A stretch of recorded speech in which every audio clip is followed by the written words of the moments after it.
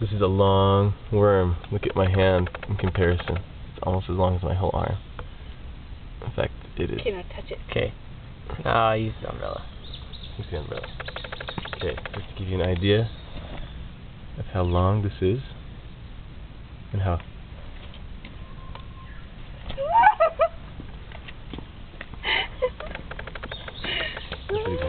Alright, it's blurry there. Why is it so